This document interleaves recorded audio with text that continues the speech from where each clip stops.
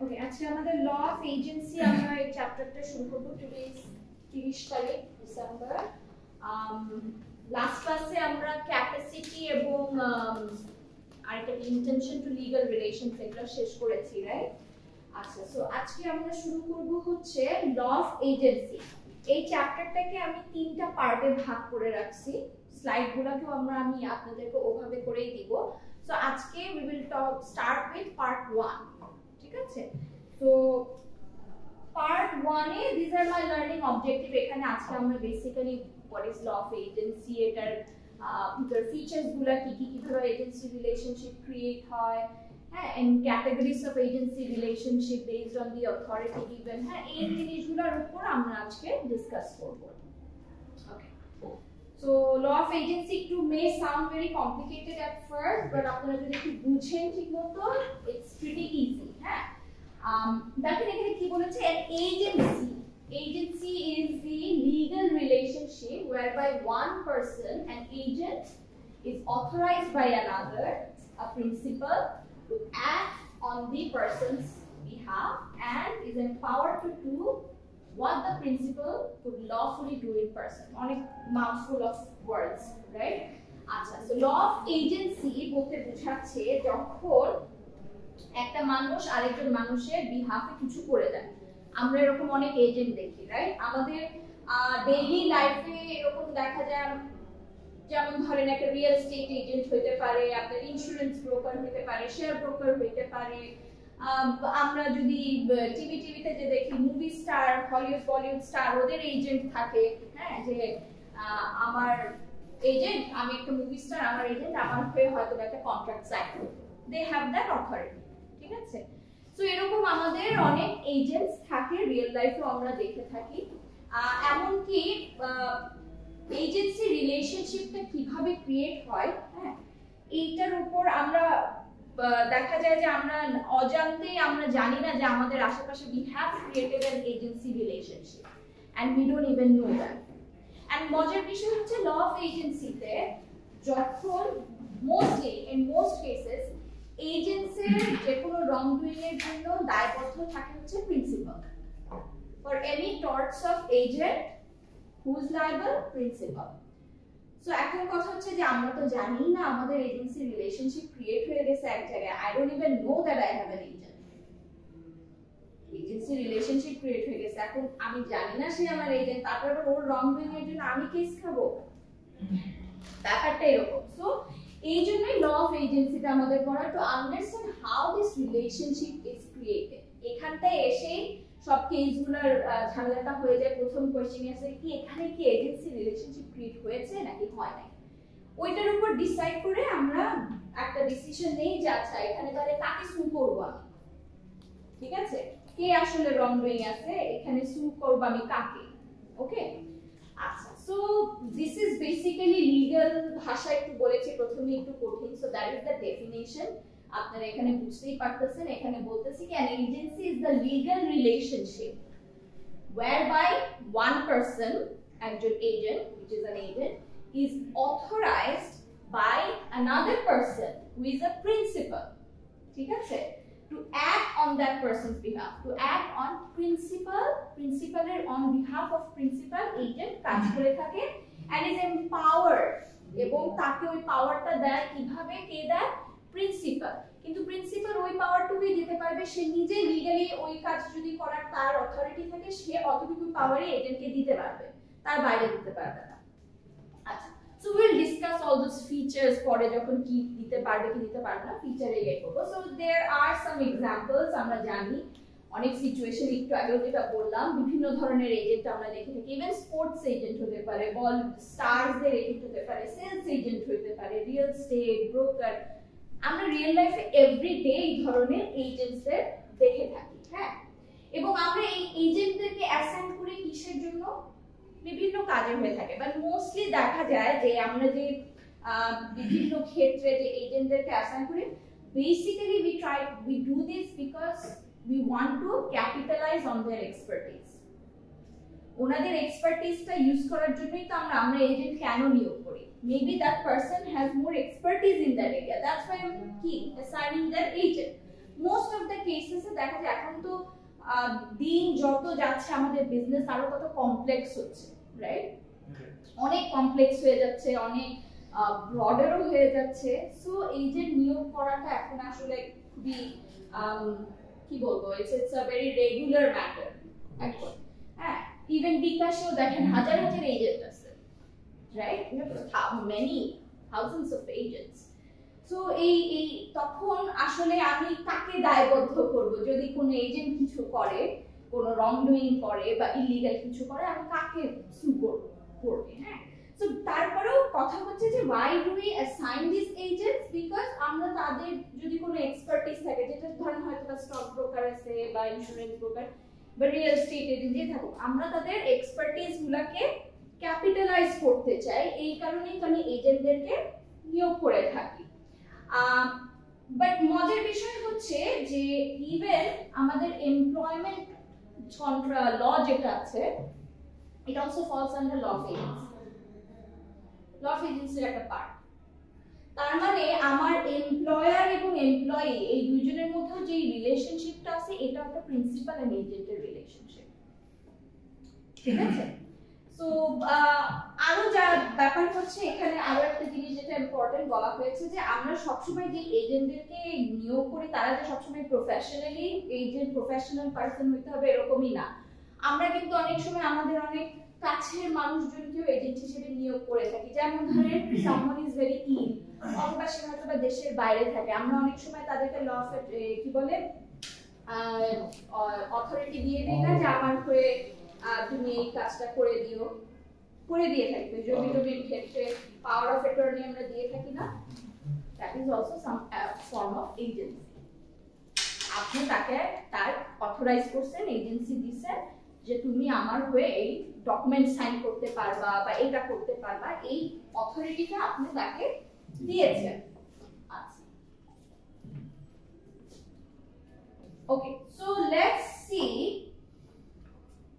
law of এজেন্সির স্কোপগুলো দেখি। প্রথমেই বললাম যে ল অফ এজেন্সি আসলে ইজ ভেরি ভাস্ট আপনার কমার্শিয়াল লয়েরই একটা পার্ট কমার্শিয়াল লতে এগুলো পড়ানো হয় এবং it's very fast even even আমাদের employment law will fall under law of agency কারণ এমপ্লয়ার এবং এমপ্লয়ের মধ্যে একটা প্রিন্সিপাল এজেন্টের মতো রিলেশনশিপ আছে। আচ্ছা সো এজেন্সি রিলেশনশিপ কখন অ্যারাইজ হচ্ছে? যখন একটা প্রিন্সিপাল এজেন্টকে অথরিটি দিচ্ছে যে তুমি আমার হয়ে এই কাজটুকু করতে পারবা। তখনই তো এজেন্সি রিলেশনশিপ ক্রিয়েট হচ্ছে এবং আজকালকার যে মডার্ন যে কর্পোরেশনসগুলো এখন ক্রিয়েট হচ্ছে we all know I don't আপনারা জানেন কিনা, আমরা কিন্তু কোম্পানিদেরকে বলি যে তাদের একটা সেপারেট লিগ্যাল পার্সোনালিটি আছে। আর্টিফিশিয়াল পার্সোনালিটি থাকে। কোম্পানি এবং আপনি দুজন সেপারেট ব্যক্তি। আপনার যদি কোম্পানি থাকে, আপনি ওনার আপনি ওনার ঠিক আছে, ভালো কথা বাট আপনার company is a separate entity তাকে একটা আলাদা মানুষ হিসেবে আপনাকে চিন্তা করতে হবে ন্যাচারাল মানুষ না বাট আর্টিফিশিয়াল একজন পার্সন হিসেবে আপনাকে গণ্য করতে হবে। তো ওইখানে তখন ক্রিয়েট হয় যে যখন কোন কোম্পানির এগেইনস্টে কোনো কেস আসে, তো তখন সে যদি প্রিন্সিপাল হয়ে থাকে, ওই কেসগুলায় কীভাবে because he that company has a personality so যখন কেস হয় কোম্পানির নামে কেস হয়। ঠিক আছে? তো সবসময় মনে রাখবেন, আপনি এবং আপনার কোম্পানি আপনি যদি ওনারও হন, যদি সেটা একটা কোম্পানি হয়ে থাকে দে বোথ হ্যাভ যেগুলো আমাদের registered company they both have separate legal entity দুইজন দুইটা মানুষ। দুজনকে এক করা যাবে না। একজন ন্যাচারাল একজন আর্টিফিশিয়াল তো এটার কথা এখানে বলছে যে, যেহেতু এখন মানে অনেক কমপ্লেক্স যেহেতু আমাদের বিজনেস আর্টিফিশিয়াল পার্সোনালিটি আছে, সবকিছু আছে, তো আসলে আমি তখন কীভাবে, কাকে আমি দায়বদ্ধ ধরবো? কোর্টে তো আমি আর্টিফিশিয়াল মানুষকে ধরে ওখানে নিয়ে যাইতে পারব না, তার একজন রিপ্রেজেন্টেটিভ তো থাকতে হবে রাইট তো এই কারণে এজেন্টের ব্যাপারটা তখন চলে আসে, যে কি করব? আমরা এইটার ব্যাপারে আরও ডিটেল করব, এই separate legal personality and everything যখন আমরা কোম্পানি ল শুরু করব আফটার দিস পার্ট ঠিক আছে? তখন আমরা আরও করব যে কীভাবে আমরা কাকে দায়বদ্ধ করব। আচ্ছা সো এখন এই জিনিসটা আমরা বুঝে গেলাম তাহলে রাইট আমরা কখন এজেন্সি রিলেশনশিপ ক্রিয়েট করতেছি, যখন প্রিন্সিপাল কোনো ব্যক্তিকে এজেন্ট হিসেবে নিয়োগ করে to act on his behalf এবং তাকে একটা অথরিটি দেয় যে তুমি এই কাজগুলা করতে পারবা। আরও আমরা কি শিখলাম? যে এজেন্টের যে কোনো রং ডুইং এর কারণে কে দায়বদ্ধ থাকবে? প্রিন্সিপাল দায়বদ্ধ থাকবে যেটা ইন জেনারেল ধরা হয়। যে কোনো ইস্যুর জন্য প্রিন্সিপালকে দায়বদ্ধ ধরা হয়। আচ্ছা। এখানে জাস্ট একটা উদাহরণ দিয়েছে আপনাদেরকে বলেছিলাম যে এমপ্লয়মেন্টের ল আমাদের যেহেতু এজেন্সির আন্ডারে পড়ে তার মানে এমপ্লয়ার এবং এমপ্লয়ের মধ্যেও রিলেশনশিপটা একটা প্রিন্সিপাল এজেন্টের মতোই। তো এখানে একটা এক্সাম্পল দিয়েছে ইফ পি প্রিন্সিপাল যদি আমি তাকে ধরি let's say this is university of scholars হ্যাঁ ইনস্ট্রাক্টস এ একজন এজেন্ট সে করেছে, which will be the professor or lecturer যাকে সে নিয়োগ করছে। তার মানে সে হবে আমার এজেন্ট আমার হয়ে সে কোনো কাজ করতেছে কি করতেছে? ইউনিভার্সিটি অফ স্কলারদের হয়ে আমি আপনাদের এখানে এসে লেকচার দিচ্ছি। Okay to act in the purchase or sale of goods and services তো আমি কি দিচ্ছি? পারচেজ অর সেল করতেছে আমি সেল করছি বা ইয়ে করছি কি? সার্ভিস দিচ্ছি আপনাদেরকে right for from or to একজন থার্ড পার্টিকে থার্ড পার্টি এখানে কারা? আপনারা স্টুডেন্টস ঠিক আছে? This contract of sale that arises is enforceable between P and P, principal and third party. Contract যেটা ক্রিয়েট হবে আপনাদের যদি কোনো সমস্যা হয় কিছু হয় আপনাদের যদি কখনো মনে হয় কাউকে সু করতে হবে আপনি কাকে সু করবেন? আমাকে না। আমার এই কোম্পানিকে সু করবেন ঠিক আছে? আমাকে সু করলে আপনাদের কেসের কোনো দুর্বল হবে হেরে যাবেন আপনি আমাকে করতে পারবেন আমাকে না করে কি করবেন? ইউনিভার্সিটিকে করবেন। তাহলে আপনি সেভ জোন আছেন হ্যাঁ? আমি না but ব্যাপার আছে আমরা ওখানেও দেখব কি হচ্ছে ঠিক আছে? দ্যাট মিন্স whenever যে এমপ্লয়ি হয় সে একটা one kind of agent of the company yes yes you are all agent of your company principal এর agent. আপনাদের যদি কোম্পানিতে কাজ করেন যারা শেয়ার হোল্ডার আছে বা আছে ওরা হচ্ছে প্রিন্সিপাল এন্ড আপনাকে ধরেন ম্যানেজার হিসেবে নিয়োগ করল বা সিইও হিসেবে নিয়োগ করল আপনারা আপনারা কোম্পানির অন বিহাফ অফ কোম্পানি আপনারা কি করতেছেন? কাজ করতেছেন এবং you look after for the best interest of the company তাই না? কোম্পানির ভালোর হয়ে আপনি কাজ করতেছেন on behalf of the principal so এই যে এমপ্লয়ার এমপ্লয় রিলেশনশিপ সেটা হচ্ছে কি? ল অফ এজেন্সির আন্ডারে করছে there is a principal and agent relationship আমাকে যে এমপ্লয় করছে ইউনিভার্সিটি আন্ডার এজেন্ট ওদের হয়ে আমি আপনাদেরকে সার্ভিস দিচ্ছি আপনাদেরকে লেকচার দিচ্ছি। এবং এই ক্ষেত্রে যদি এজেন্ট কোনো ক্রাইম করে ফর এক্সাম্পল থার্ড পার্টি তার এগেনস্টে কোনো অ্যাকশন নিতে যাচ্ছে বানিয়ে নিল সেক্ষেত্রে প্রিন্সিপাল যে কোম্পানি কি সেই এজেন্টকে সাপোর্ট দেবে? এই রাইট আছে নাকি করবে না? আর যদি ওইটাই আমরা যাব কে লায়াবল থাকবে we will go there mostly সব কেসেতে প্রিন্সিপাল থাকে বাট যদি ব্রিচ অফ কন্ট্রাক্ট হয় তখন এজেন্টকে তার মধ্যে ধরা যায়। ঠিক আছে? বাট ওইটার কি আপনাকে কেসের ফ্যাক্টস বুঝে কি হচ্ছে না হচ্ছে এইগুলো বুঝে আপনাকে আর কি ডিসিশন নিতে হবে আপনি কাকে সু করবেন বা কে দায়বদ্ধ থাকবে। ঠিক আছে? Facts changes from case to case অনেক কিছু হইতে পারে। ইন জেনারেল যেটা হয় আমি আপনাদেরকে সেটা বলতে আচ্ছা। এখানে দেখেন বলতেছে যে বারবার যেটা বললাম যখন আমাদের এই যে তিনজন পার্টি মিলে যখন একটা কন্ট্রাক্ট হইল হ্যাঁ? এই কন্ট্রাক্টটা যখন ক্রিয়েট হয় বেসিক্যালি কন্ট্রাক্টটা তাহলে কার ভিতর ক্রিয়েট হইল? এজেন্ট এবং প্রিন্সিপালের হ্যাঁ? নাকি? প্রিন্সিপাল প্রিন্সিপাল আপনাকে এমপ্লয় করছে আপনি প্রিন্সিপালের কন্ট্রাক্ট করছেন কার সাথে থার্ড থার্ড পার্টির সাথে আচ্ছা কন্ট্রাক্ট ক্রিয়েট হলো। এখন এই কন্ট্রাক্টটা ক্রিয়েট হয়েছে বাট এই কন্ট্রাক্টটাকে বলা হবে প্রিন্সিপালের কন্ট্রাক্ট কারণ আলটিমেটলি আপনি either as a third party sue করতে পারবেন কাকে? প্রিন্সিপালকে ঠিক আছে? কন্ট্রাক্ট করছে কিন্তু এজেন্ট বাট কন্ট্রাক্টের নাম যাবে কার? Principal so this contract will be called the principal's contract এবং সু করতে পারবে অথবা সু হইতে পারবে যে কোনো সবকিছু কার মধ্যে হবে? শুধু প্রিন্সিপাল আর থার্ড পার্টির মধ্যে হবে। ঠিক আছে? আমরা কি বুঝতে পারছি? আচ্ছা। আর হচ্ছে আহ, যখন ওই যে বারবার বলতেছিলেন যে যদি কখনো এজেন্ট কখন লায়াবল হবে যখন এজেন্ট কোনোভাবে নেগলিজেন্টলি কোনো কাজ করছে বা ব্রিচ অফ কন্ট্রাক্ট অফ এজেন্সিতে গেছে। এই ধরনের ক্ষেত্রে এজেন্ট দায়বদ্ধ হতে পারবে কন্ট্রাক্ট নাই সাথে এজেন্টের ফর এক্সাম্পল আমরা যারা এমপ্লয়। আমার সাথে কোনো দায়বদ্ধতা বা কোনো এগ্রিমেন্ট কি থাকে? আপনার এমপ্লয়মেন্ট কন্ট্রাক্ট দেন না একটা? হ্যাঁ সেটা that is your agreement agreement yeah আপনার employment contract is your agreement আছে সো এটা কি অ্যাপয়েন্টমেন্টে যেটা লেখা থাকে অফার লেটারে সেগুলো আপনার থাকে না কন্ট্রাক্টের মতো একটা এমপ্লয়মেন্ট কন্ট্রাক্ট দেয় না আপনাদের ওখানে লেখা থাকে না আপনাকে কি হিসেবে নিয়োগ দেওয়া হচ্ছে এবং এরকম family এরকম employment roles and responsibility সবকিছু ওখানে থাকে না। দ্যাট ইজ ইউর কন্ট্রাক্ট আপনি কোম্পানির সাথে কন্ট্রাক্ট করে ফেলছেন। So you are the agent আপনি কোম্পানির হয়ে ওই পোস্টে as say your a manager আপনার কিছু দায়িত্ব আছে যেগুলো আপনাকে করতে হবে। সো এই জিনিসগুলাই আপনাকে অ্যাজ আ এজেন্ট আপনি রিপ্রেজেন্ট করতেছেন কোম্পানির হয়ে, তাই না? আচ্ছা তাহলে আমরা একটু তাহলে রিলেশন ফ্রেমওয়ার্কটা তাহলে যদি আমরা একটু দেখি সো বেসিক্যালি তাহলে আমার এজেন্সিতে ল অফ এজেন্সিতে দেখা যাচ্ছে অফ এজেন্সিতে কি হচ্ছে? আমাদের তিনটা পার্টি আছে তাহলে। তার মানে কি? প্রিন্সিপাল আছে তারপরে এজেন্ট আছে যাকে আমি এ হিসাবে বললাম। আরেকটা কি থার্ড পার্টি ঠিক না? যার সাথে আমার কি হচ্ছে? কন্ট্রাক্ট করা হচ্ছে। তার মানে এখানে এই যে হচ্ছে রিলেশনশিপগুলা। এটা হচ্ছে কি? ইন্টারনাল রাইট এটা তো ইন্টারনাল প্রিন্সিপাল আর এজেন্টের নিজেদের মধ্যে হচ্ছে। বাকিগুলো হচ্ছে কি এক্সটার্নাল রাইট এক্সটার্নাল আচ্ছা তার মানে আমরা কি শিখলাম? যখন কোনো কন্ট্রাক্ট হয় এজেন্ট কার সাথে কন্ট্রাক্ট করতেছে?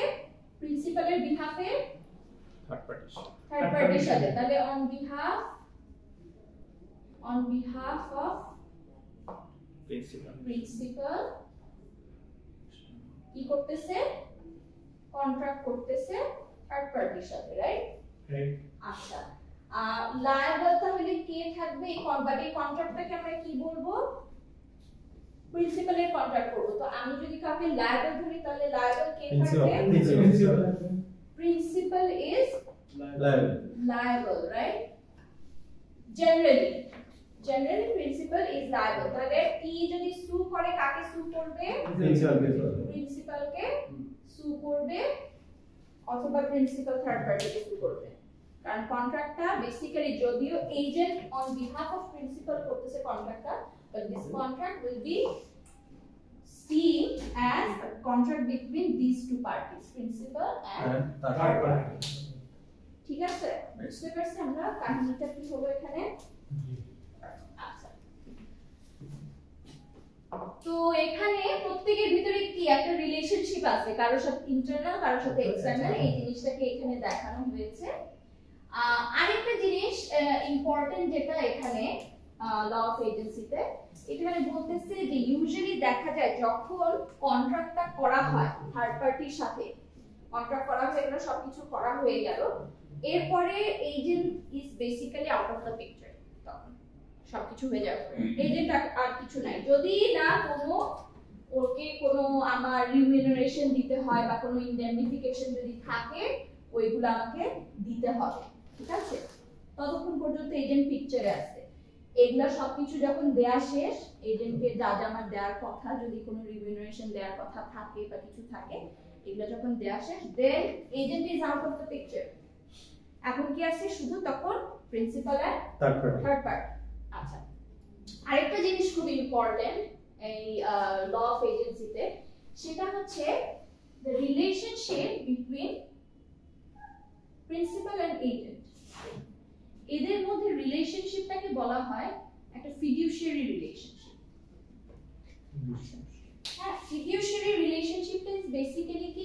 ফিডিউশিয়ারি হচ্ছে মানে কারোর উপর বিশ্বাস, আস্থা good faith care and loyalty এই জিনিসগুলোর উপর ভিত্তি করে যে রিলেশনশিপটা হয়, সেটাই হচ্ছে ফিডিউশিয়ারি রিলেশনশিপ তো এজেন্টকে আমি যখন নিয়োগ করেছি অ্যাজ এ প্রিন্সিপাল আমি তাকে কি বিশ্বাস একটা গুড ফেথের উপর বিশ্বাস করেই তো আমি তাকে এজেন্ট হিসেবে রাখছি যে তুমি আমার হয়ে কাজ করবে। মানে আমার যেটা বেস্ট ইন্টারেস্ট সেটাই তুমি দেখবা। কনফ্লিক্ট অফ ইন্টারেস্ট হইলে যদি হয় আমার প্রিন্সিপালের এজেন্টের মধ্যে যদি কনফ্লিক্ট অফ ইন্টারেস্ট হয় তাহলে কি হবে? না তাহলে প্রিন্সিপাল তো এজেন্ট নিয়ে ভিডিও হ্যাঁ তাহলে তো হবে না। এই can not work against the principal তাই না? তাকে প্রিন্সিপালের হয়ে তার ভালোটা হয় এটা চিন্তা করেই তাকে কাজ করতে হবে, তাই না? তো এই রিলেশনশিপটাকে বলতেছে কি? ফিডিউশিয়ারি রিলেশনশিপ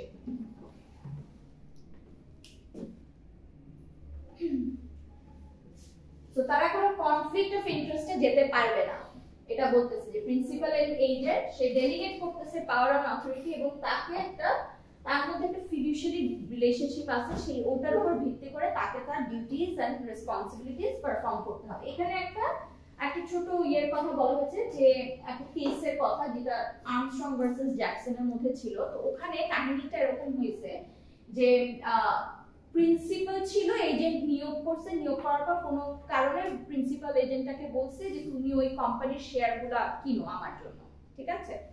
আচ্ছা তো প্রিন্সিপালের জানে না, এর মধ্যে কি করছে এজেন্ট চিন্তা করছে আচ্ছা আমারও তো ওই কোম্পানির শেয়ার আছে। আমি একটা কাজ করি, আমারটাই ওকে বিক্রি করে দিই, এখন তো ভালো দাম, আমারও একটু লাভ হবে। আর এই ব্যাপারটা কি প্রিন্সিপাল জানতো না। তো এরকম করার পরে কিছুদিন পরে সে জানতে পারছে যে এজেন্ট তো এরকম কাজ করছে হ্যাঁ? তো এইখানে কি, ওই যে দেখেন, এই কথা বলছে, the agent owns some shares in the company and sold these to the principal instead of obtaining them from elsewhere. বা মার্কেট থেকে না কিনে সে নিজেরটা দিয়ে দিচ্ছে তারও লাভ হয়েছে। তো কোর্ট কি বলছে? এইটা যখন এই কাহিনী যখন প্রিন্সিপাল জানতে চাই, পারছে, তখন বলছে যে, না, তুমি যে প্রফিটটা করছ, এটা আমাকে দিতে হবে। You are not allowed to earn profit out of my expense right আমা আমি তোমাকে এজেন্ট হিসেবে নিয়োগ করছি। তুমি তোমার সেলফ ইন্টারেস্ট দেখে লাভ করে আমার কাছ থেকে এটা করছে এটা তো তুমি করতে পারবা না। তোমার কথা ছিল তুমি মার্কেট থেকে কিনবা। মার্কেটে যে প্রাইস আছে নিজের লাভ হবে এরকম করে দেখায় তুমি নিজের শেয়ার বিক্রি করে দিলে এটা হবে না। কিন্তু মার্কেট থেকেই নিল। যেখান থেকে ওই এজেন্ট এজেন্ট এজেন্ট তারটা হ্যাঁ। প্রিন্সিপালের নামে করে এই যে দিচ্ছে ওই মার্কেটে তো শেয়ার ছিল। হ্যাঁ কিন্তু সে লাভে দিচ্ছে আরও মানে যেটা না ছিল তার থেকে আরেকটু প্রফিট করে তাকে ওই কোম্পানির শেয়ারটা দিচ্ছে বুঝছেন তো তো এক্সট্রা কিছু ইনসেন্টিভ ওখানে পাইছে। এই কারণে তখন প্রিন্সিপাল বলছে যে, তুমি প্রফিট করতে পারো না, তার মানে দিস বিলংস টু মি তোমাকে এটা আমাকে দিতে হবে। তারপরে কোর্ট যখন গেছে কোর্টেও একই ডিসিশন আসছে যে, তুমি অ্যাজ এন এজেন্ট কাজ করতেছো, তুমি প্রিন্সিপালের সাথে কোনো কনফ্লিক্ট অফ ইন্টারেস্ট ক্রিয়েট হয় এই ধরনের কাজ করতে পারবা না। সো এখানে যে বেনিফিট বা ফাইন্যান্সিয়াল ইনসেন্টিভগুলো তুমি পেয়েছ তুমি এগুলা কাকে প্রিন্সিপালকে দিতে পারবে তুমি এই কাজ করতে পারবা না। সো এই যে এইটা কেন এই ডিসিশনটা নিছে court because the concept of fiduciary relationship যে প্রিন্সিপাল এবং এজেন্টের মধ্যে একটা ফিডিউশিয়ারি রিলেশনশিপ আছে তারা একজন আরেকজনের কনফ্লিক্ট অফ ইন্টারেস্টে হবে এরকম কোনো কাজ করতে পারবে না। সেটা ইভেন এরকম হতে পারে যে সেটা কম্পিটিটরও যদি হয় কোনো কম্পিটিটর কম্পিটিশনের ভালো হবে বা কম্পিটিটরের ভালো হবে এই ধরনের কাজও করতে পারবে না।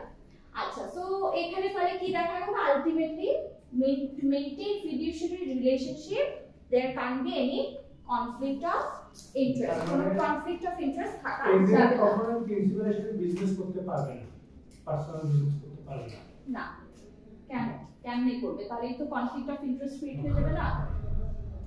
কনফ্লিক্ট অফ ইন্টারেস্ট ক্রিয়েট করা যাবে না।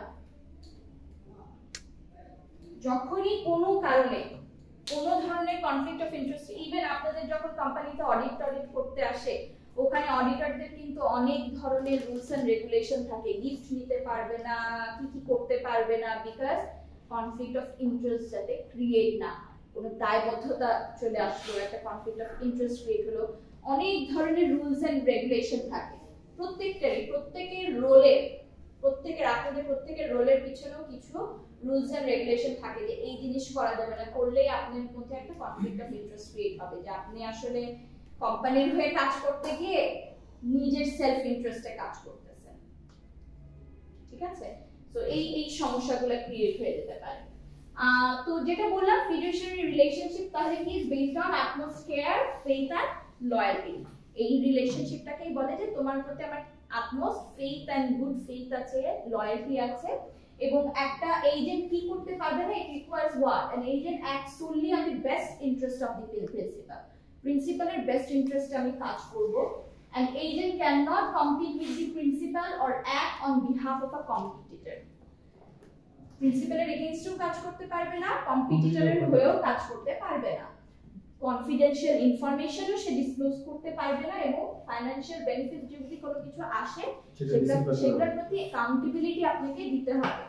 যে কীভাবে কি হয়েছে না হয়েছে যদি প্রিন্সিপালের সেখানে ইয়ে থাকে সে সেটা করতে বাধ্য। আচ্ছা, এখন আসেন আমরা একটু আলোচনা করি এই যে আমরা বারবার করে বলতেছি যে এজেন্ট ক্রিয়েট হচ্ছে sometimes we don't even know আসলে কে আমার এজেন্ট কনফিউশন অ্যারাইজ হতেই পারে। তো আমি এটা কীভাবে ডিটারমাইন করব? ঠিক আছে?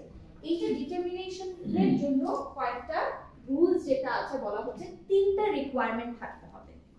এই তিনটা রিকোয়ারমেন্ট ইজ ভেরি ইম্পর্টেন্ট কি কি? একটু দেখি আমরা।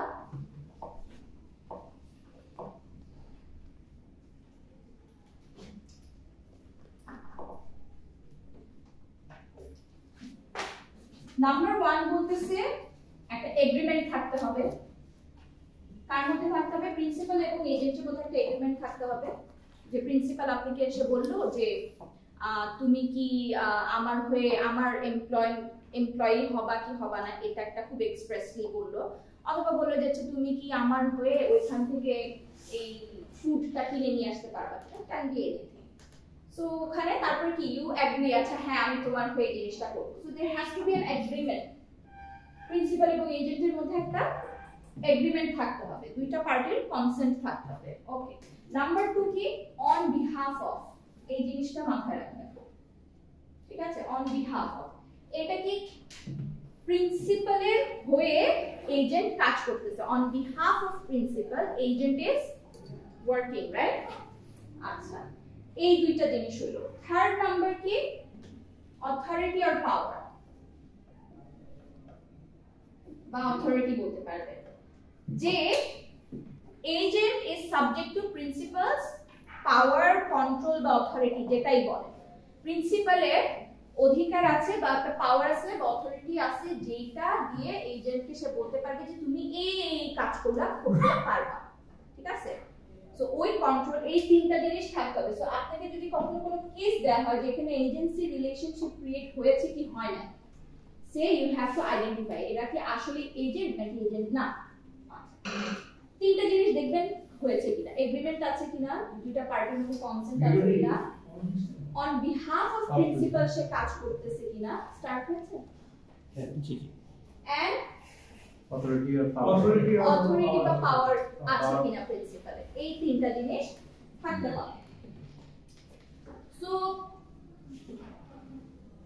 let's think about it ধরেন আমি আপনাকে let's say this is my mobile এটা আমি আপনাকে দিলাম।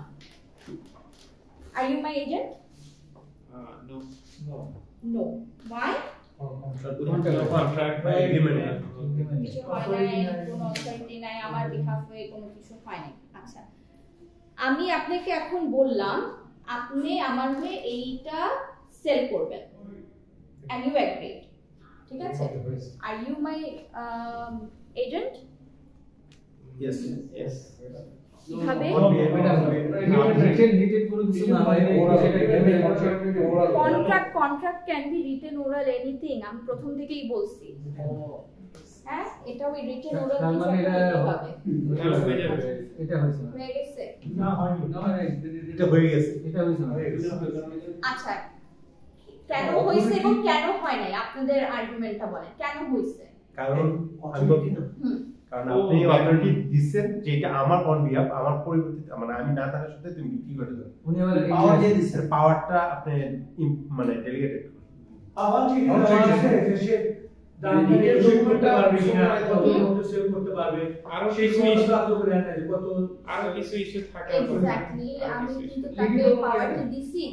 থাকে আমি কি তার কাছে এটা ফেরত নিতে পারব কি পারব না এরকম কোনো কিছু কি ডিটেইল বলছি? না এখন মনে করেন আপনি মোবাইল রিসেল করেন। ঠিক আছে? আচ্ছা। আপনি আপনি মোবাইল রিসেল করেন আপনি যাদের যে পুরাতন মোবাইল টোবাইল আছে কিনেন ঠিক আছে? তো আমি আপনাকে আমার মোবাইলটা দিলাম। বললাম যে আপনি আমার হয়ে সেল করবেন। তো আপনার কাছে আমি সেল করে দিলাম। ঠিক আছে? যে আপনি আমার হয়ে সেল করবেন। যেটাকে আমরা অনেক সময় কনসাইনমেন্ট সেল বলি না কিছু একটা থাকে কনসাইনমেন্ট সেল যে আপনাকে বলছি, আপনি আমার হয়ে এটা করবেন। বাট এটার সাথে আমি এটাও বলে দিলাম যে আপনাকে মেবি যেটাই সেল হবে ইউ গেট থার্টি পার্সেন্ট ঠিক আছে? আর বলে দিলাম যে আমি লেটস সে আপনি পাঁচ হাজার লেটস সে এক হাজার ডলারের নিচে আপনি বিক্রি করতে পারবেন না। কন্ডিশনসও দিয়ে দিলাম, বলে দিলাম এটা এটা এটা আপনি করতে পারবেন। আমরা একটা এগ্রিমেন্টে আসলাম। Are you my agent now Yeah. অবশ্যই. কি কি কন্ডিশনস ফুলফিল হয়েছে তাহলে সবগুলো ফুলফিল হয়েছে আপনার সাথে একটা এগ্রিমেন্ট হয়েছে। হয়েছে and then you are working on behalf of me আমার হয়ে আপনি মোবাইলটা সেল করছেন এবং আপনাকে যে অথরিটিটা দিছি যে আপনি এতটুকুর মধ্যেই সেল করবেন এতটুকু কমিশন পাবেন যদি না করতে পারেন I am taking back my mobile ঠিক আছে তো আমরা বুঝতে পারতেছি আসলে কীভাবে আমাদেরকে চিন্তা করতে হবে যদি কোনো কেস দেই বা কিছু দেই যে আসলে এজেন্সি রিলেশনশিপটা আছে কি নাই? ক্লিয়ার ওকে বেসিক্যালি ওই জিনিসটাই এখানে দিছি। This is what we did consignment সেলের ক্ষেত্রে কখন কি হবে ঠিক আছে? তো বিভিন্ন ধরনের সিচুয়েশন অ্যারাইজ হতে পারে। You explain yourself through it যদি এরকম হয় তাহলে কি হবে? যদি এরকম হয় তাহলে কি হবে? নাকি হবে না। জাস্ট আপনাদের নিড ক্লাসে প্র্যাকটিসের জন্য একটা ছোটখাটো রোল প্লে তো এখন আসেন আমরা একটু তাহলে কয়েকটা ফিচার্স দেখি কি কি আছে এই এজেন্সি রিলেশনশিপের এতক্ষণ পর্যন্ত তো আমরা যা যা আছে সবকিছুই বুঝলাম। অন বিহাফ অফ প্রিন্সিপাল কাজ করতেছে, কি কি রিকোয়ারমেন্ট আছে সব কিছু আমরা বুঝলাম।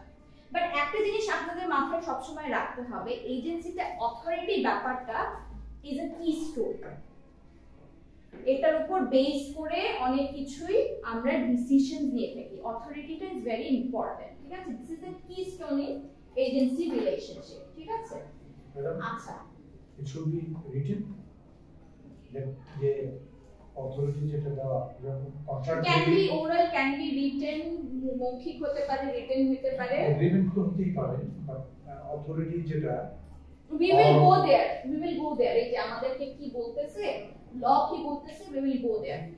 Your authority can be expressed মানে অথরিটি অ্যাকচুয়াল হতে পারে এক্সপ্রেসড হতে পারে ইমপ্লাইড হতে পারে। We will go there. Expressed and implied বলতে কি বোঝাচ্ছেন? লিগ্যালি কি বোঝাচ্ছে আমরা ওখানে যাব। ঠিক আছে? তো এখানে কিছু আবার এক্সেপশনের কথা বলা হয়েছে এই ল অফ এজেন্সির এতক্ষণ যে আমরা পড়লাম। সেটা হচ্ছে নাম্বার ওয়ান একটা এক্সেপশন হচ্ছে প্রিভিটি অফ কন্ট্রাক্ট ক্লজ যেটা এটা এই এক্সেপশনটা will apply to law agency মানে কন্ট্রাক্ট লয় আমরা বলছি যে তুমি যদি কন্ট্রাক্টের পার্টি না হও হ্যাঁ তাহলে তোমার সাথে আমার কন্ট্রাক্ট হইল না।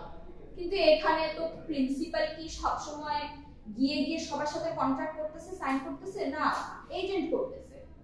কিন্তু আমি তো সু করার সময় কাকে সু করতেছি প্রিন্সিপালকে সু করতেছি। তাহলে তো আমার জেনারেল রুলের সাথে গেল। গেল সে তো প্রিভিটি ছিল না প্রিভিটি মানে party part of the contract হইতে হবে, একটা পার্টি হইতে হবে ওই কন্ট্রাক্টে যদি একজন আরেকজন পার্টি না থাকে ডিরেক্ট তাহলে কন্ট্রাক্ট করতে পারবে না। That is the general rule কিন্তু এখানে তো সেটা হচ্ছে না। সো ল অফ এজেন্সি মধ্যে এক্সেপশনটা প্রিভিটি অফ কন্ট্রাক্টের যে এক্সেপশনটা applies to law of agency আচ্ছা। আরেকটা জিনিস মজার, এখানে এগুলো ইজ ভেরি ইজি কে এজেন্ট হইতে পারবে, কে এজেন্ট হইতে পারবে না। সেটা হচ্ছে যে অবশ্যই প্রিন্সিপাল এবং এজেন্ট দুইজনকেই তাদের লিগ্যাল ক্যাপাসিটি থাকতে হবে সাউন্ড মাইন্ডেড হইতে হবে লিগাল এজেন্ট হইতে হবে হ্যাঁ এইসব কিছু থাকবে। Consideration is not necessary to create agency দুইটা এক্সেপশন ক্রিয়েট হলো তাহলে। একটা হচ্ছে privity to privity of contract আর একটা হচ্ছে কনসিডারেশন এই দুইটার এক্সেপশনই কোথায় অ্যাপ্লাই হচ্ছে? ল অফ এজেন্সি আমরা ল অফ কন্ট্রাক্টে পড়ে আসছি কনসিডারেশন ছাড়া কন্ট্রাক্টই হয় না। একটা লিগ্যাল এনফোর্সেবল কন্ট্রাক্ট হয় না। বাট ল অফ এজেন্সিতে এসে এটা এক্সেপশন হচ্ছে।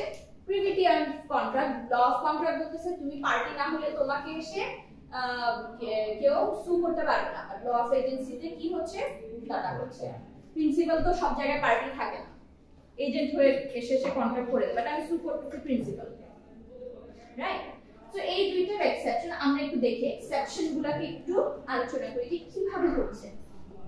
So privity of contract. এটা হচ্ছে when a person is not a party to the contract can also can create an enforceable contract. Exception of privity to, privity of contract মানে আপনি এই contract হচ্ছে এজেন্ট ধরেন উনি agent আমি একটা থার্ড পার্টি প্রিন্সিপালের এখানে নাম বন্ধও নাই, উনি বসে আছে আমেরিকায় কিন্তু আমি সু করব ওই প্রিন্সিপাল কিন্তু আমাদের যখন কন্ট্রাক্ট হচ্ছে is not a party but তারপরেও কন্ট্রাক্ট এনফোর্সেবল কন্ট্রাক্ট আমরা লিগালি এনফোর্সেবল কন্ট্রাক্ট ক্রিয়েট করতে পারব।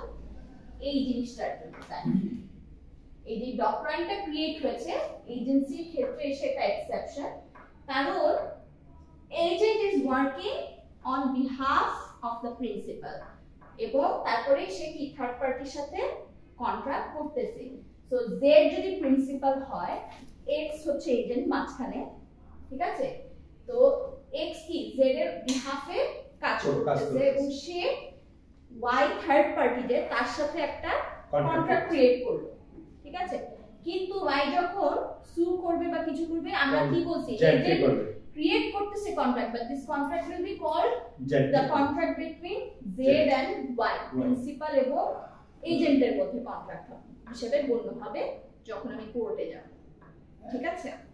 তো এই কারণে এখানে exception of privity of contract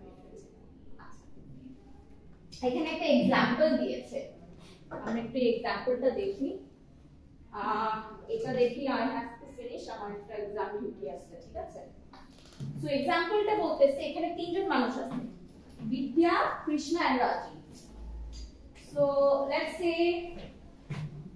this is Vidya তারপরে কি? কৃষ্ণা Krishna and এন্ড রাজি আমি এদেরকে বি কে এন্ড আর নাম দিলাম, ঠিক আছে? Rajeev is already living in the property on a three year lease তার মানে কি? রাজীব ইজ বেসিক্যালি এখানে থার্ড পার্টি তাই না? ইজ দ্য থার্ড পার্টি না?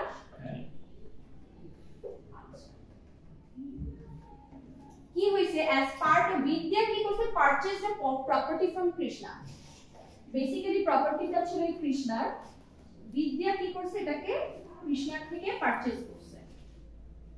ওকে? তাহলে এখন নতুন প্রিন্সিপালটা কে হইল? বিদ্যা। এ আগে ছিল এখন কে হয়ে গেছে? বিদ্যা। প্রিন্সিপাল হয়ে গেছে। আচ্ছা। আচ্ছা Vidya as part of the purchase agreement Vidya যখন এই যে পারচেজ টারচেজ করল ওর কাছে এই পারচেজ এগ্রিমেন্টের একটা পার্ট ছিল Vidya takes over the lease তো পার্ট অফ দি এগ্রিমেন্ট হিসাবে তার যে লিজটা ছিল যদি সে কিনে ফেলে এই যেটা তখন এই লিজটা কার নামে চলে যাবে? এখন নতুন যে প্রিন্সিপাল তার নামে চলে যাবে লিজ রাইট লিজটা কার নামে চলে যাবে? ট্রান্সফার হবে কার নামে? এখানে হয়ে যাবে তাই না?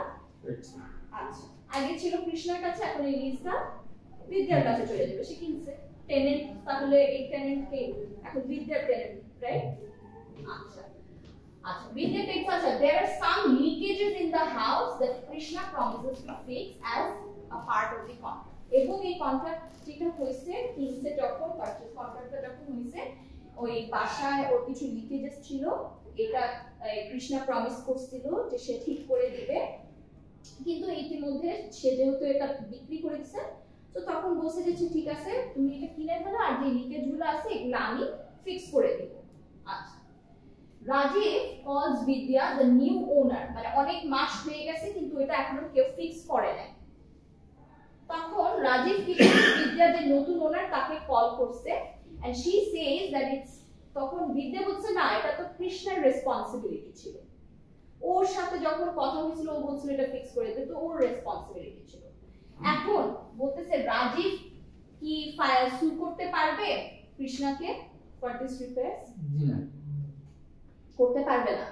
আচ্ছা দেখেন এখানে কি হয়েছে। দুইটা জিনিস। যেহেতু বলতেছে there is no contract between Rajiv and Krishna about repairing the leakage. If he files a এখন তো এদের মধ্যে কি কোনো কন্ট্রাক্ট হইছে? না। তুমি লিকেজ ঠিক করে দিবা বা কি করবা? কোনো কন্ট্রাক্ট হয় নাই। ওর। হয়েছিল তার সাথে কথা ওর সাথেও যে আমি ঠিক করে দিব। তো যদি এখন সু করে কোর্ট সেটা ডিসমিস করে দিবে যেহেতু কোনো কন্ট্রাক্ট নাই। আচ্ছা। কিন্তু Krishna had agreed to carry out the repairs in his purchase contract কিন্তু ও- ওর সাথে যখন পারচেজ কন্ট্রাক্ট করছিল বিদ্যা এবং কৃষ্ণা ওখানে বলছিল যে ওই প্রপার্টিতে যেসব লিকেজ টিকেট ফিক্সিং আছে ওগুলো আমি তো যদি বিদ্যা যদি ওকে সু করে তখন কি সেটা হবে? হবে। হবে। কেন? ওখানে। হয়েছে। ওখানে হয়েছে। আচ্ছা। রাজীব তাহলে কাকে সু করতে পারবে? রাজীব করে বিদ্যাকে করতে পারবে। বিদ্যাকে করতে করা যদি তার লিজ এগ্রিমেন্টে এরকম কোনো ক্লজ হ্যাঁ, থাকে যে এই পেইন্টিং হোক বা ইয়ে হোক সবকিছুর জন্য বিদ্যা দায়ী যদি এরকম কোনো থাকে ক্লজ তাহলে রাজীব তখন বিদ্যাকে সু করতে পারে। ঠিক আছে? Depending on the clauses of your contract ওইটার উপর ডিপেন্ড করে রাজীব বিদ্যাকে করতে পারবে because is the third party he can not sue Krishna okay যদি কোর্টে যাইতে হয় ও কাকে সু করবে? ও করবে বিদ্যাকে। আর বিদ্যা করবে কাকে? ঠিক আছে? ওকে আমি আজকে এখানেই শেষ করতেছি। নেক্সট ক্লাসে আমরা কনসিডারেশন নট নেসেসারি কেন এইটা দেখব। ঠিক আছে? থ্যাংক ইউ সো মাচ দাও।